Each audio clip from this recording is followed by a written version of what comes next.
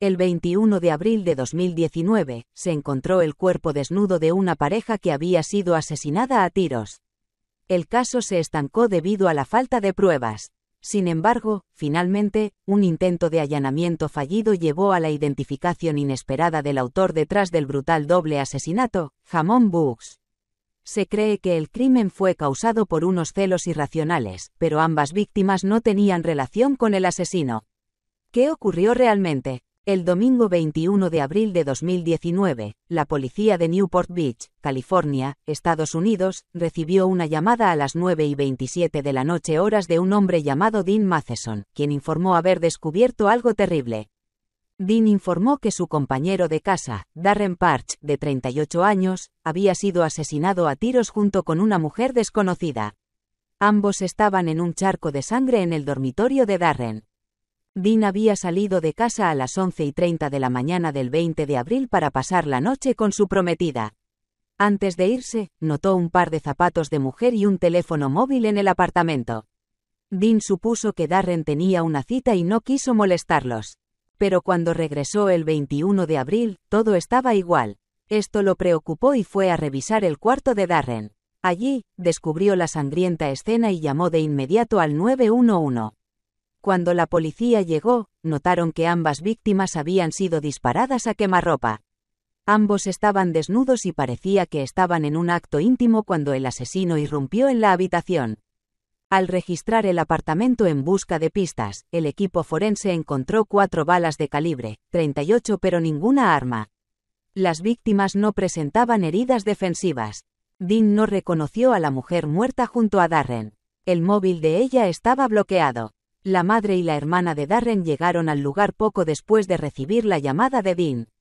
Estaban en shock porque Darren, un exjugador de hockey en ligas menores que había pasado a trabajar en finanzas, no tenía conflictos con nadie y era conocido por su carácter dulce y encantador. Los familiares insistieron en que no podían creer que alguien quisiera matarlo. Pero si Darren no era el objetivo, ¿podría ser que el asesino buscaba a la mujer que estaba con él? Continuando con el registro del apartamento, los investigadores encontraron una llave electrónica. Al activarla, llevó a la policía hasta un coche estacionado al otro lado de la calle. El vehículo pertenecía a Wendy Miller, de 48 años.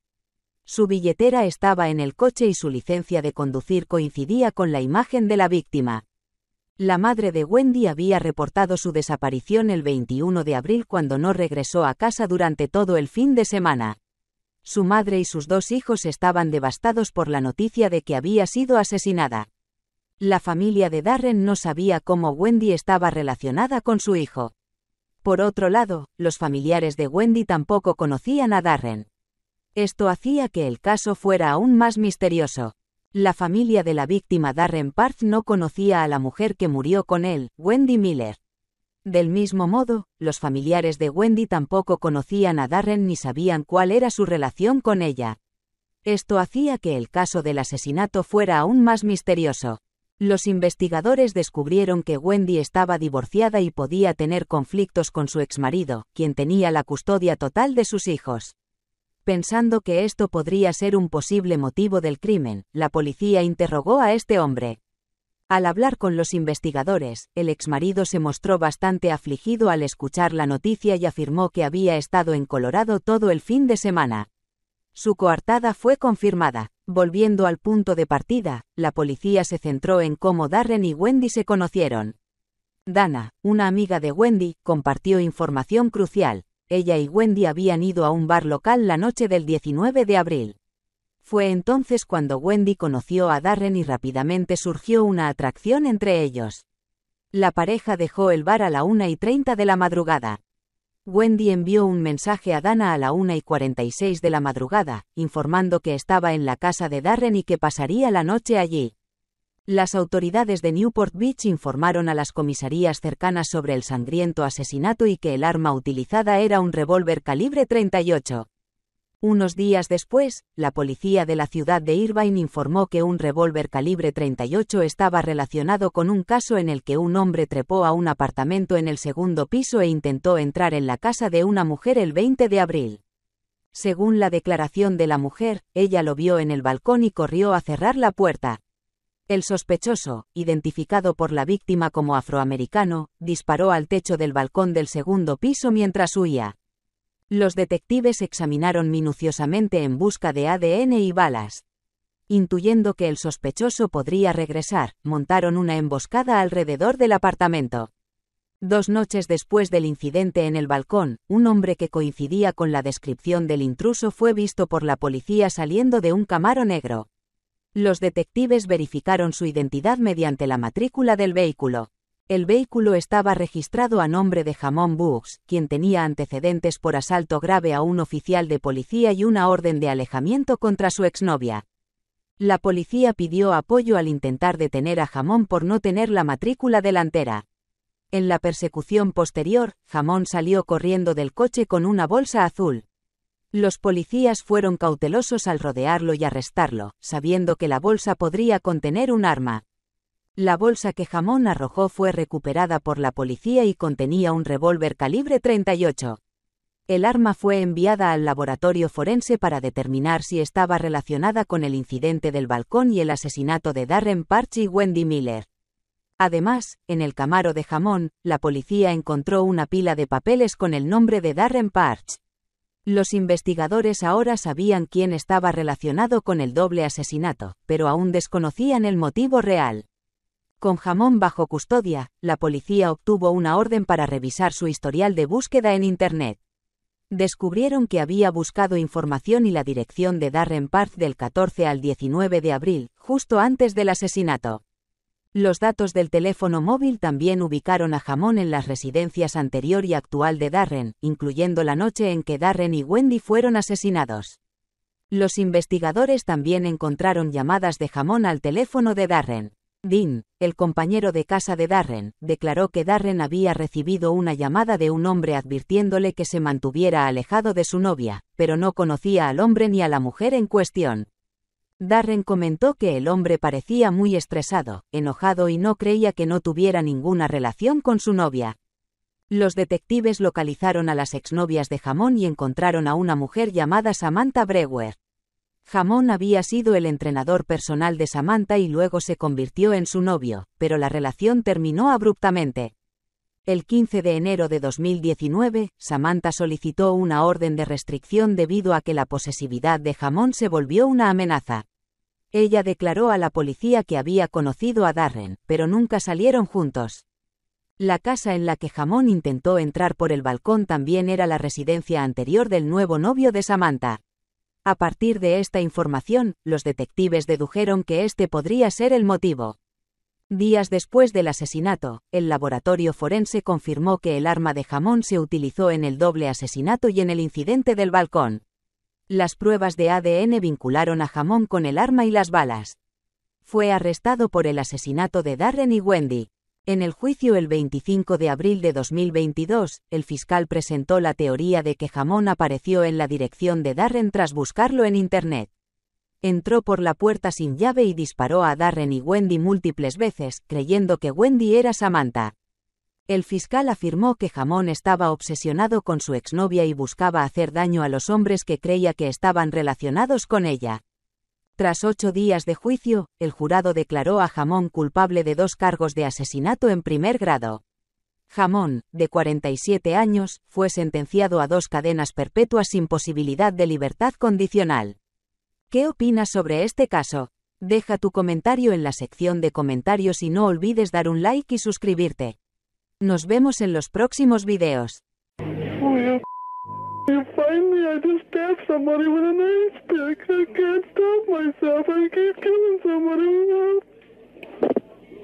Yes, please. This is an emergency. Please send a squad to Pierce Butler Road, uh, Manufacturing Company, machine shop. Please, there's an ambulance too. There's a girl hurt there. Can you tell me what happened to her? Durante los años de 1980 a 1982, los habitantes del estado de Minneapolis, en los Estados Unidos, vivieron constantemente en un estado de ansiedad y miedo debido a la presencia de un asesino en serie apodado el asesino llorón. Lo notable era que, después de cada uno de sus brutales crímenes, este individuo llamaba a la policía con una voz llena de arrepentimiento, afirmando que escuchaba voces en su cabeza que lo incitaban a cometer los crímenes. ¿Quién era este asesino y cuál era su propósito al confesar tales cosas? Hoy, buscaremos la respuesta a través del caso que tenemos ante nosotros. En la víspera de Año Nuevo de 1980, Karen Potak, una estudiante de 20 años de la Universidad Stevens Point, en el estado de Wisconsin, fue a una discoteca a divertirse con algunos amigos. Cuando la discoteca cerró a la 1 de la mañana, sus amigos buscaron a Karen por todas partes, pero no pudieron encontrarla. En ese momento, Karen estaba caminando de regreso a su casa cercana, ya que se había hecho tarde. Mientras caminaba por una calle desierta en St. Paul, Karen comenzó a sentir que alguien la seguía, por lo que aceleró el paso. Sin embargo, antes de poder reaccionar, fue emboscada por un extraño. Este individuo atacó a Karen rápidamente con una barra de metal antes de abandonar la escena. A las 3 de la mañana, la policía estatal recibió una llamada de un hombre extraño. Con una voz entrecortada, emocionada y algo histérica, les informó que había una mujer gravemente herida y proporcionó una dirección precisa antes de colgar de inmediato. Siguiendo la dirección proporcionada por este misterioso hombre, la policía y el personal médico llegaron rápidamente a la escena. Allí, se encontraron con una visión aterradora. La víctima, Karen Potak, estaba tendida en la fría nieve invernal, desnuda y apenas con vida.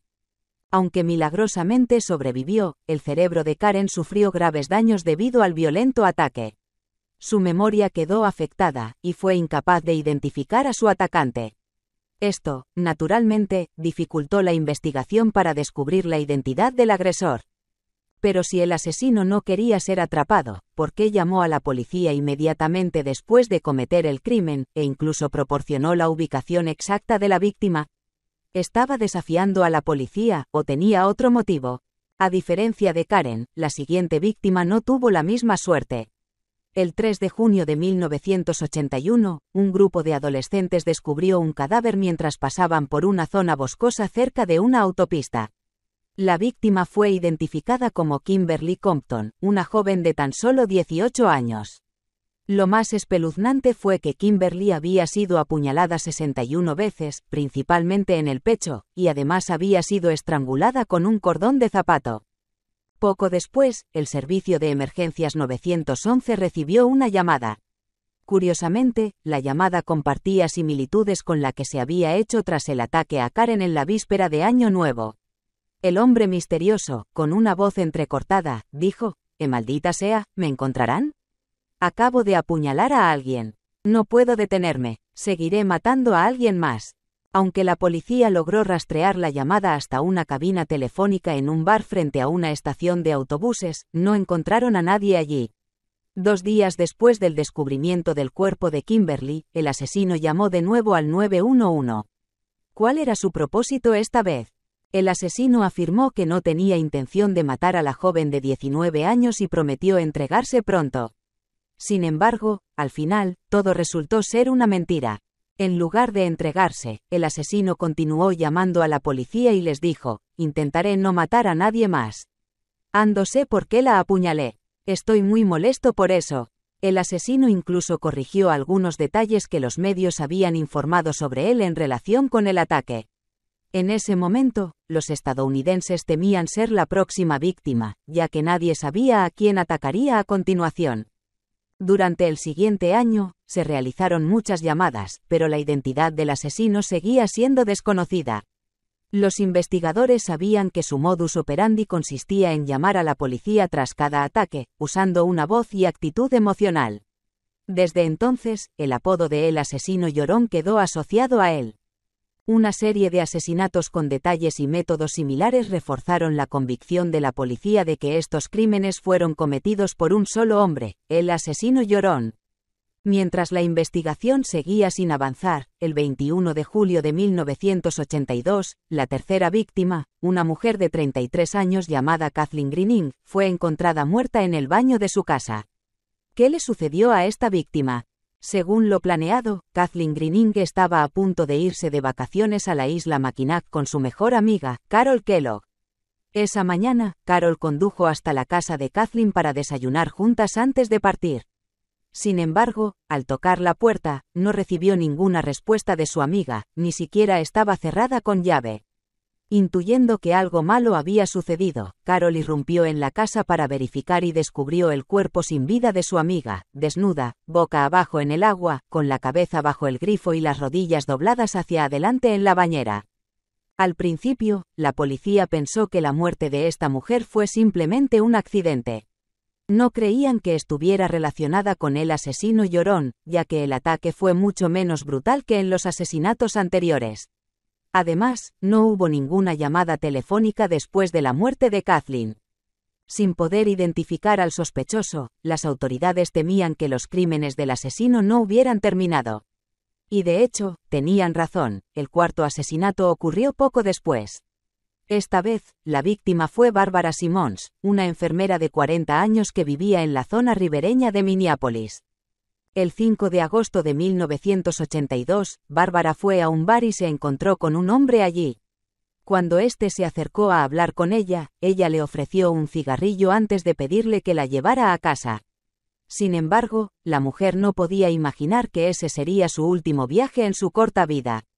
A la mañana siguiente, mientras caminaba a lo largo del río Mississippi, un repartidor de periódicos descubrió el cuerpo de Bárbara.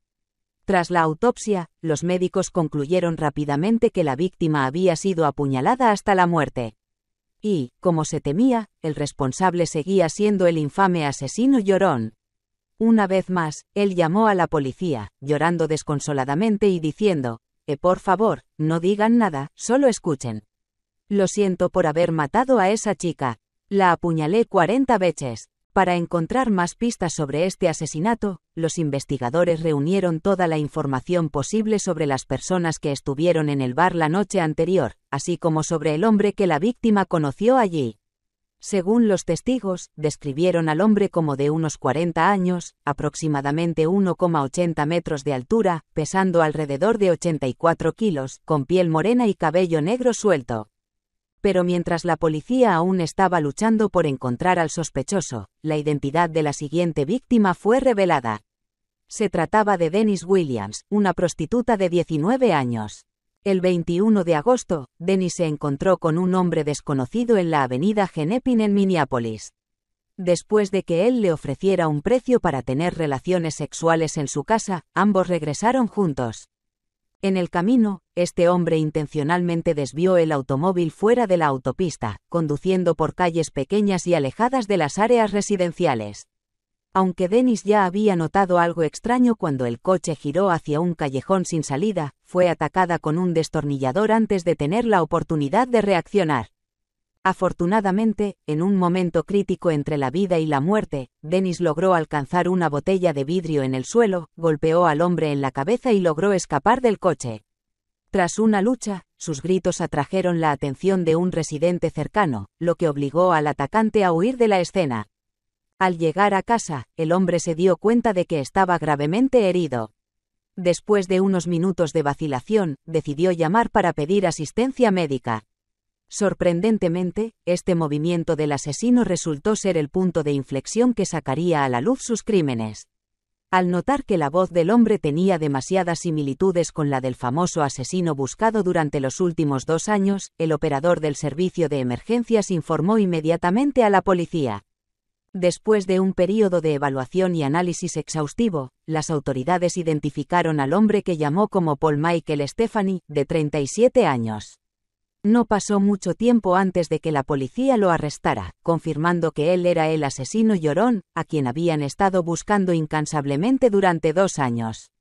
¿Qué tenía de especial este asesino que hizo tan difícil su captura? Paul Michael Stephanie nació el 8 de septiembre de 1944, siendo el segundo de diez hermanos en Austin, Minnesota. Se sabe que el padrastro de Stephanie abusaba físicamente de sus hijos desde una edad temprana. Este fue uno de los factores que influyeron profundamente en su estado mental más adelante en la vida. A mediados de la década de 1960, Paul se mudó a St. Paul y trabajaba en dos empleos, como conserje en un hospital y como empleado de carga y descarga.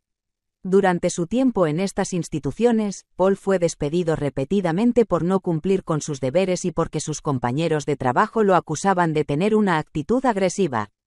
Cuando se le pedía que explicara su comportamiento, siempre afirmaba que padecía epilepsia, aunque no tenía ningún documento médico que respaldara esa afirmación. Cuando perdió su trabajo en su último lugar de trabajo, el asesino volvió furioso a la zona cerca de la fábrica. Fue allí donde vio por casualidad a Karen, su primera víctima. Al principio solo quería invitarla a tomar un café. Ella no llevaba abrigo, quería protegerla, pero luego mi mente comenzó a dar vueltas, confesó Paul. A través de la investigación del historial del asesino, la policía descubrió que él había tenido una novia anteriormente.